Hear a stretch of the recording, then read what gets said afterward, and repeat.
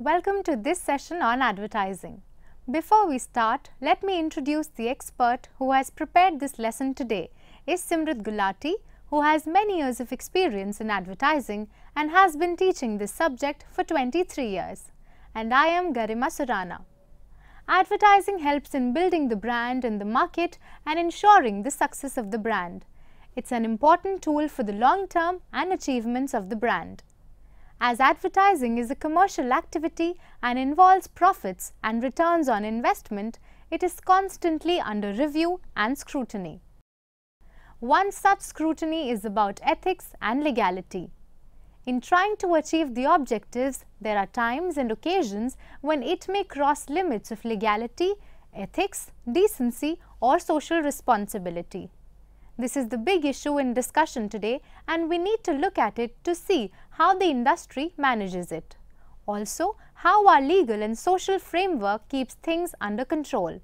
So, it's a case of self-regulation and environmental control for the overall benefit of people and society.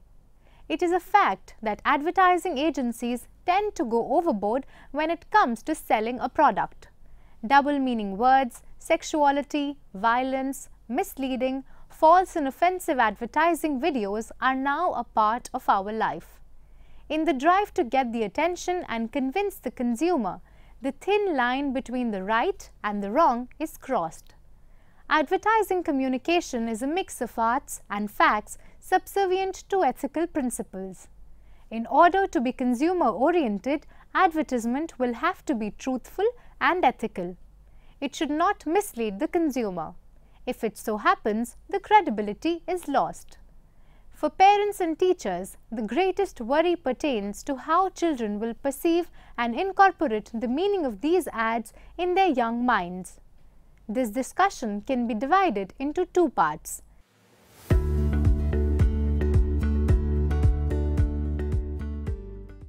Ethical issues and legal issues though both seem similar, but we find that some differentiation is there and we need to look at things separately. Ethical deals with social concern and responsibility and enforcement cannot be forced but is more on voluntary basis. Legal relates to the law and there are definite enforceable methods available to deal with such points.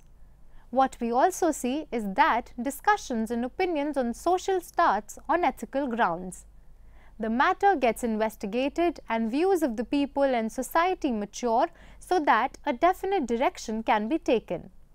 This crystallizes into a legal definition over time. Matters of ethics get legalized or what are legal issues today started as ethical ones sometime in the past and finally culminated in a law being passed regarding it. Ethics are open to interpretation by different people and different sections of a society but a law is final and binding without any anomalies and applies to all.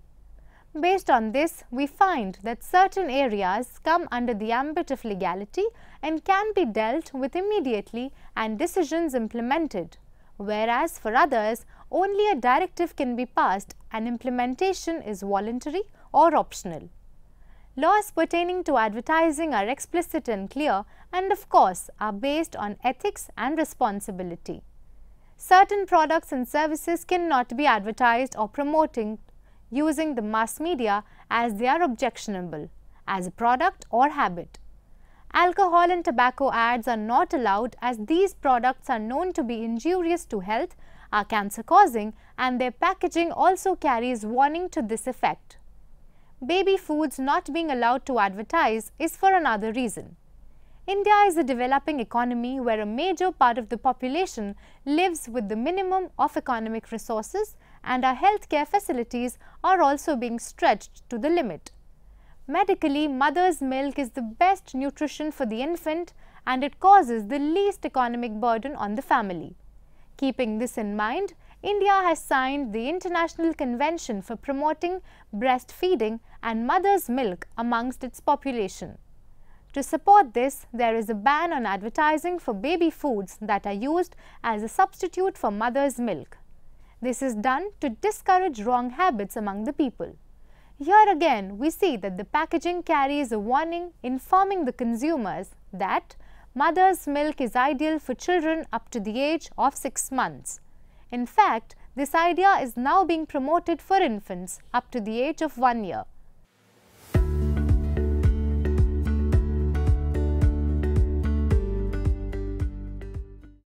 This of course brings us to the topic of surrogate advertising. Surrogate advertising is advertising which embeds a brand or product message inside an advertisement which is ostensibly for another brand or product or substitute brands are used to promote the banned product.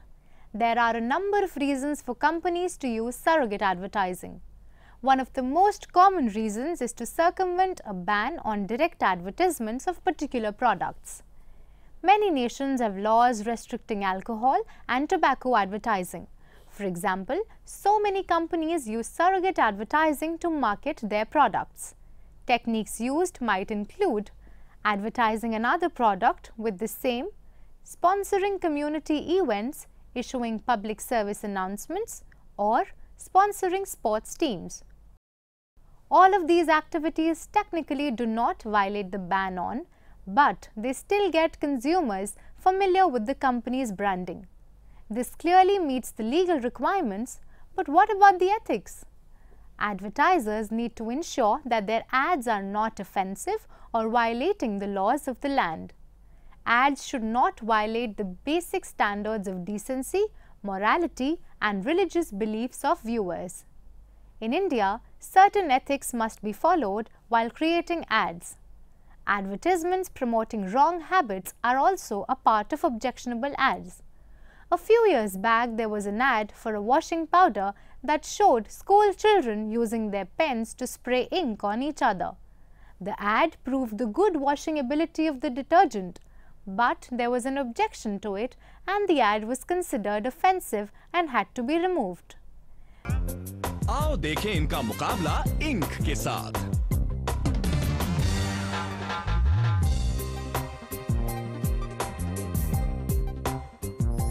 नया multi action Surf ज्यादा दागों पर ज्यादा असरदार The objection was to this concept of throwing ink at each other. It was felt that the ad was encouraging this behavior or rather giving sanction to this idea and thus promoting wrong habits in children.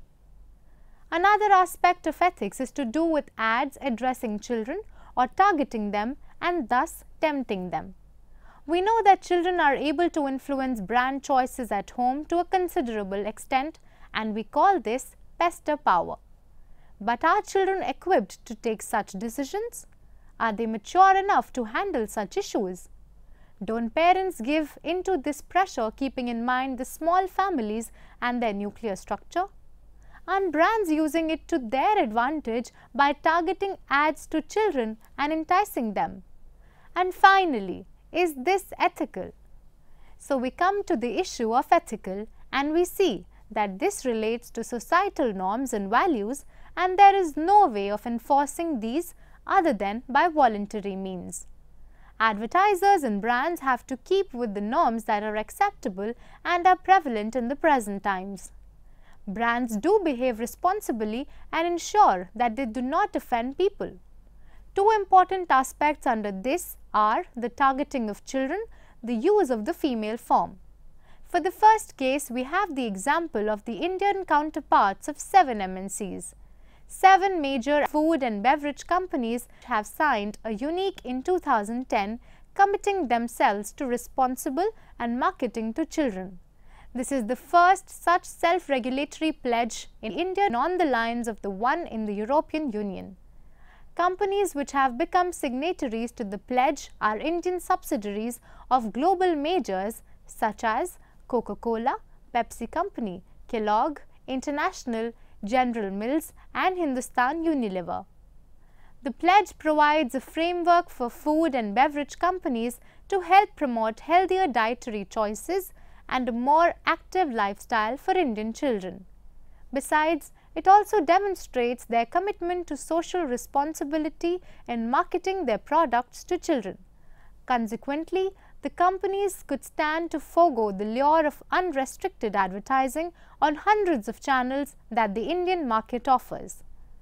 Though this is a voluntary move towards self-regulation, it could was driven by increasing focus on obesity among and allegations that unrestricted consumption of fast food and beverages are some of the factors leading to it. For using the female form, the views are diverse and many. Most good brands do not like to offend the consumer and try to keep off such ideas. But we still have ads that do not appeal to the senses of the consumer. Objections can be raised and some action is taken. But what suits or does not suit a person varies from individual to individual and becomes difficult to justify or prove. So, most of the time these issues remain unsettled. Also, research has shown the sensation and excitement the female form creates and there is a very fine dividing line between the aesthetic and the unesthetic.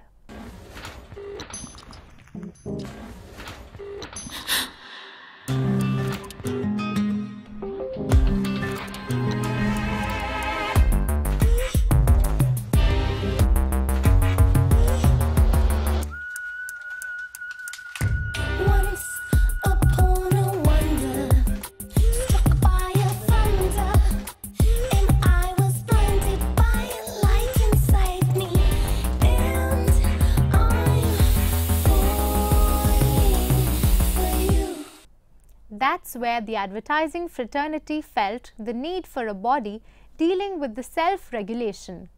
Issues that are not within legal implementation but deal more with ethics are viewed and dealt with here. Thus, we have the Advertising Standards Council of India, ASCI. In order to enforce an ethical regulating code, the Advertising Standards Council of India was set up inspired by a similar code of the Advertising Standards Authority ASA UK. To ensure the truthfulness and honesty of representations and claims made by advertisements and to safeguard against misleading advertising. To ensure that advertisements are not offensive to generally accepted standards of public decency to safeguard against indiscriminate use of advertising for promotion of products which are regarded as hazardous to society or to individuals to a degree or a type which is unacceptable to society at large. And to ensure that advertisements observe fairness in competition so that the consumers need to be informed on choices in the marketplaces and canons of generally accepted competitive behavior in business are both served. So, ASCI regulates brands and their ads for objectionable ads, ads that are in bad taste, misleading ads, copying or imitation of ideas and concepts and other issues that can disagree with the consumer. Complaints can be registered and then further action is taken after introspection and discussion.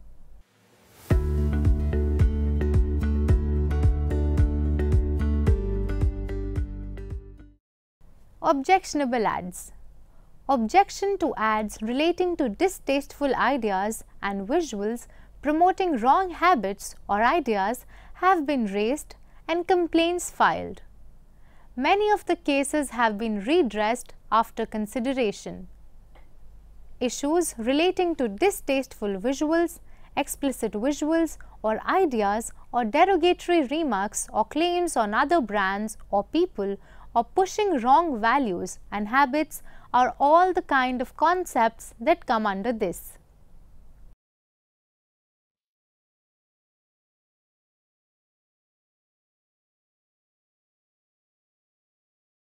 Misleading ads.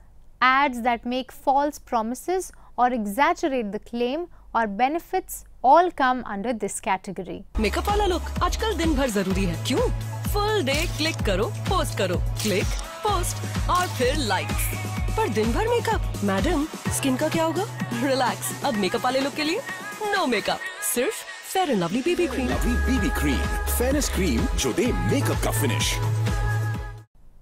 Many complaints relating to this have been handled by ASCI.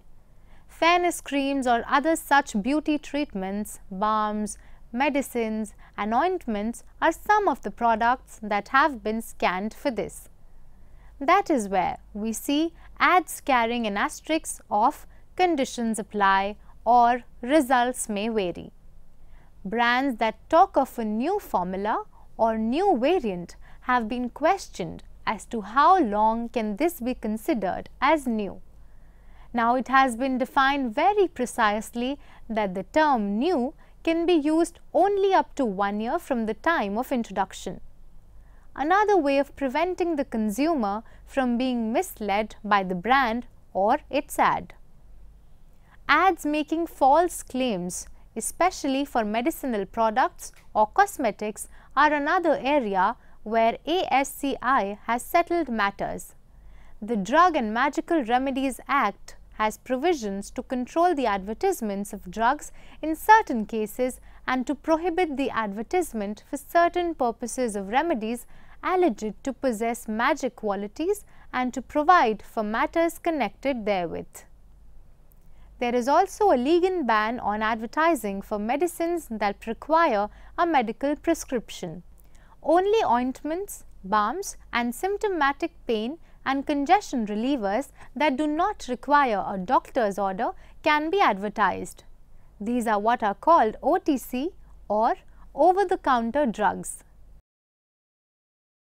All medical drugs have a standard formulation irrespective of which company manufactures it, so there is no need to communicate to the consumer on the mass media.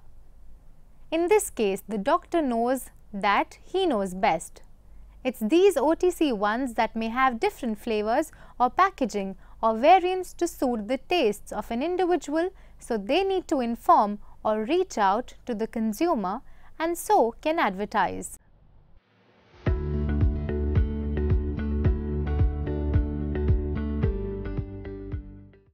Celebrities this is another aspect where regulation is required and things are being put into place regarding celebrities and brand endorsement.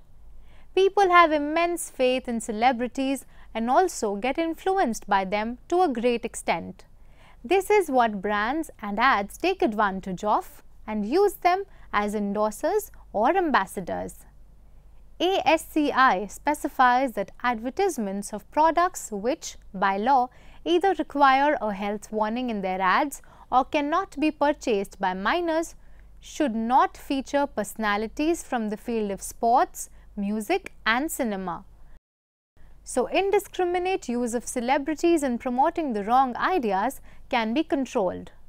In fact, celebrity brand endorsers for pan masala have been sent legal notices by some of the state governments in January 2016.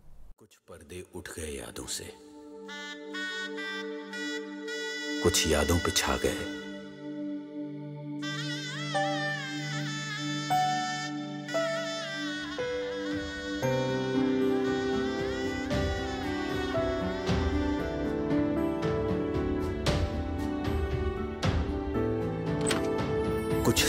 चल दिए आँखों से। कुछ आँखों में आ गए।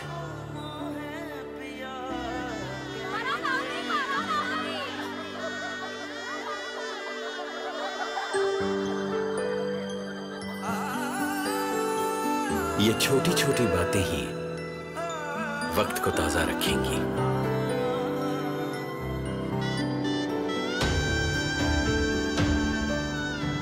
एक रिवाज है ये जिसको सदियां साझा रखेंगी बारातियों का स्वागत पान पराग से ही होता है Another issue related to the celebrities is where the celebrity promoting the brand is made equally responsible for the performance of the brand. Discussions are going on about holding the endorser responsible for the brand, especially if the brand runs into trouble regarding quality or misleading ads. The law is yet to be finalized, but this would definitely control the celebs from making false claims and promises in ads and also prevent them from going on a brand endorsement spree. This would mean that there would be some control over not misleading the consumer or not fooling him with the glamour of the stars.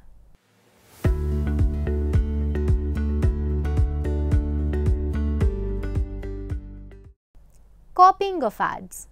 There have been cases of brands copying the ads of a competing brand and again ASCI settled the complaint. An important point with self-regulatory bodies is that consumer has to register a complaint or raise an objection and only then is the matter taken into consideration and settled. Also, opinions may differ and the members of the discussion panel may not come to a consensus depending on various perceptions. What we need to conclude is that there is a method available for looking into the ethics and value systems of the people. Related to this is the concept and interpretation of comparative ads.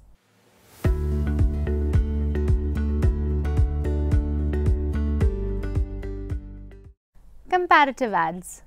Ads that compare one brand with another and try to prove the superiority of one over the other are what are classified as comparative ads.